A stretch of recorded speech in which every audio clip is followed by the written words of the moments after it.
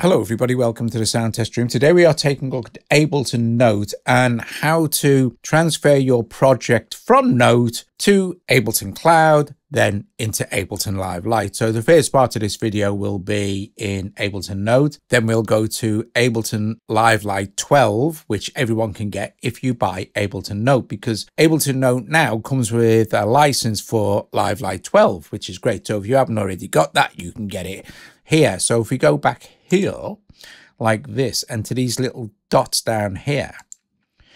So you can get Ableton Live Lite here, right? And then you can set up Ableton Cloud Day. Now you need to set up Ableton Cloud, but you just follow the instructions. You click on this and then you can set it up there like that. Okay, so just follow the instructions. You need to have this working.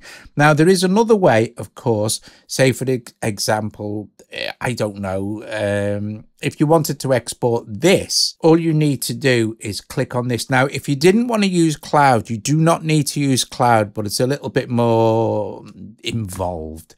What you'd need to do is click on this here and then share to like this. And then you can export this to Dropbox or wherever you want. And then on Dropbox on your desktop, you open it up and you, you know, grab the file from Dropbox and drop it into Ableton. Right, okay, we're going to use this set here. So this one, I'm just going to quickly play you through it so you know what it sounds like. So let's just start this. So it's a, it's, it's a, a dead short set because Ableton Live Lite 12 only has eight scenes and eight instruments. Okay, so unless you want to upgrade, of course, and then you can go nuts.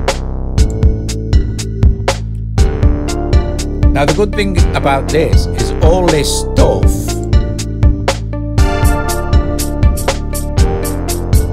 will open up perfectly in Ableton because all these sounds are also in the desktop version of Ableton Live Lite. So anything you create inside of Note, you will be able to carry on work with. And that's the point. That's the idea. I think that's the idea Ableton uh, had with Note is you can be sitting on, on, on the bus with your phone or with your iPad. You can be sketching out some ideas.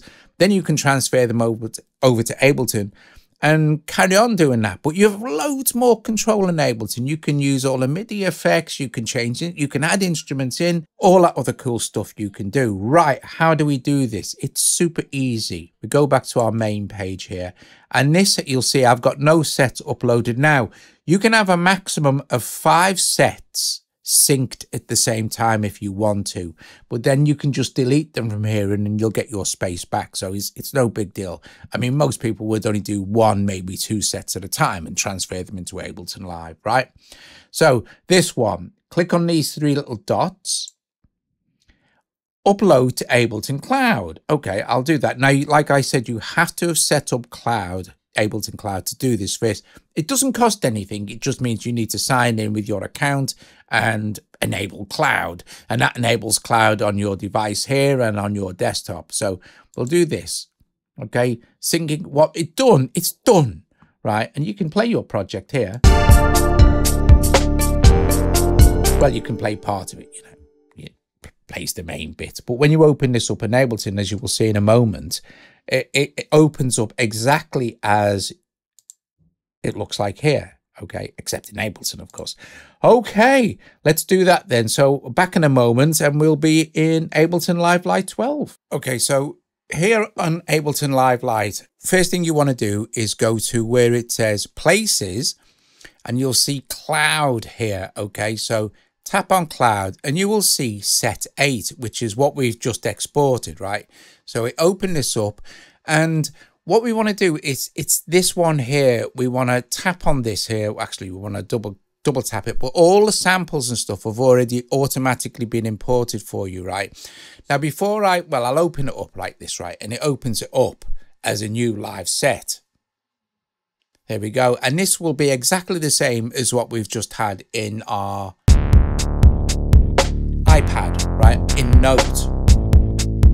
Okay, let me just stop that. Now, the other way, like I said, to do it is if we, like, just let me move Ableton out the way. You'll see I have a folder here called Notes. And what I did here is if I open this up, there's probably nothing in it.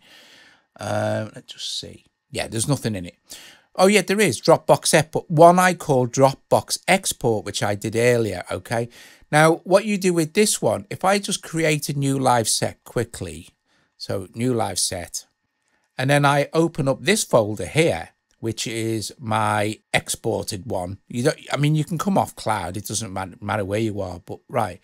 All we need to do is once we've this is the Dropbox mesh method, but you see, it's it's more clunky than doing it via cloud because in cloud it's just automatically there.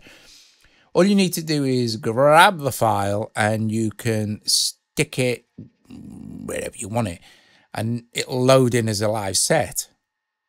There you go, and I'll just close this now, and this will play exactly the same. So.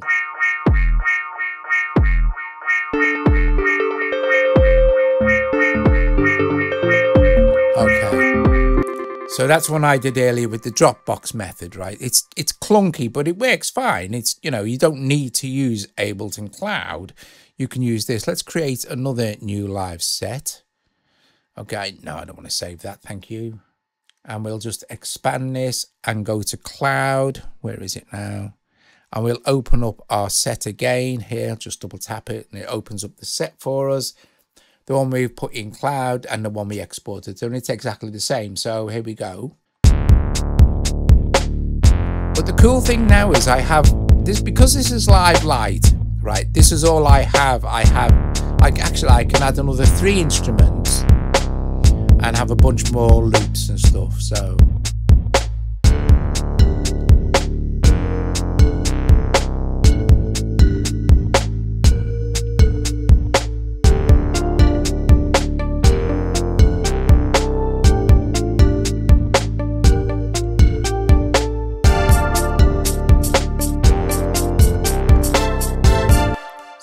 what's great now is I can choose any of these instruments, right? And let me just select the monitoring.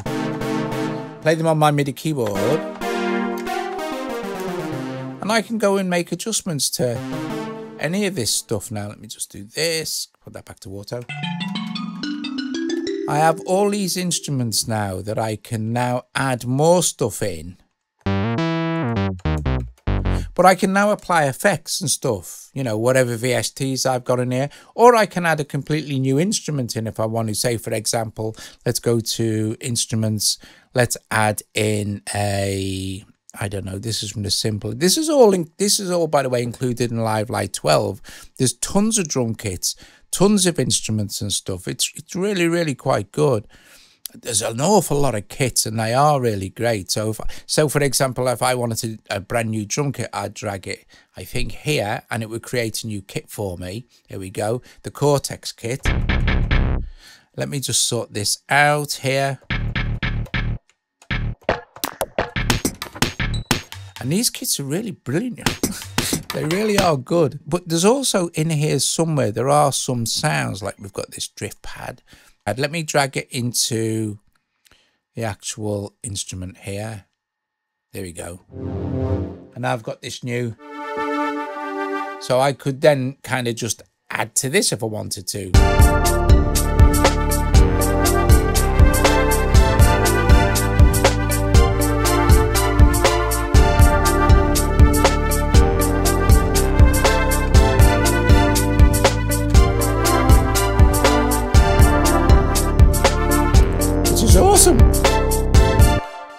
On and on I could go, adding new stuff in and doing all of this. Some of these are really good. Let's put it there like this.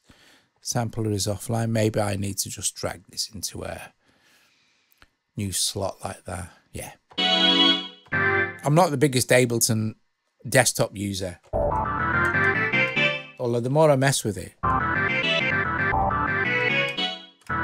more really like it. But you get the idea, right? Once you've got your setting from Note, then you can expand on it as much as you like. And if you've got bigger versions of Ableton, of course, you can have as many of these instruments and what have you as you like. Anyway, guys, there you go. That's how you do it. That's how you can bring your projects in from Note and expand on them in Live Lite. Okie dokie. I'll see you later. Ta-da.